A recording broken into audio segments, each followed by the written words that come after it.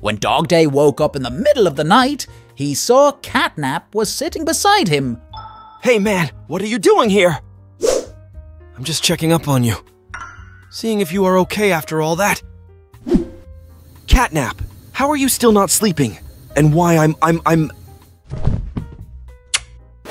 Catnap's charming personality immerses Dog Day in a restful snooze.